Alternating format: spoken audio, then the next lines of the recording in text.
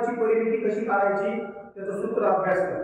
आता जे त्रिकोणाचे दोन प्रकारचे आहेत दुसरे त्यांचा आपण अभ्यास करू. प्रथमतः आपण समभुज त्रिकोण. म्हणजे काय? ते अभ्यास करू. सम म्हणजे सारख्या आणि भुज म्हणजे बाजू. ज्या त्रिकोणाच्या सर्व बाजू म्हणजे तीनही बाजू सारख्या मापाच्या असतात त्याला समभुज त्रिकोण असे म्हणतात. त्याला नाव देऊ आपण. L M M.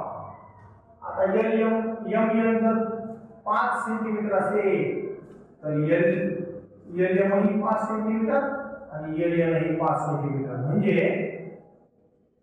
तीनही बाजू सारख्या आहेत.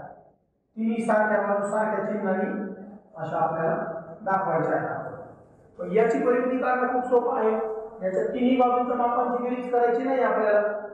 केली तरी चालेल परंतु आपला वेळ वाचेल म्हणून याचं आपण सूत्र पाहू त्रिकोण समभुज त्रिकोणाची परिमिती कशी काढायची? एकदम सोपं. त्याला तीनने फक्त त्याच्या बाजूला तीन गुणिले बाजू. तीन गुणिले बाजूचं माप.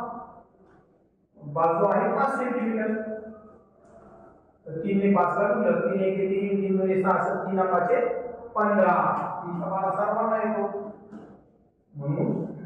समभुज त्रिकोणाची परिमिती म्हणजे तीन गुणिले बाजू अशी यामध्ये वेगवेगळी माप टाकून आपल्याला परिमिती काढतो.